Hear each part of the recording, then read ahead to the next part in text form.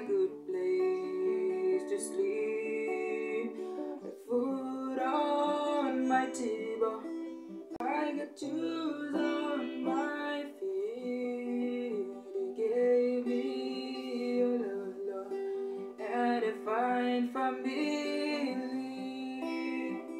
Thank you, Lord, for your blessing on me.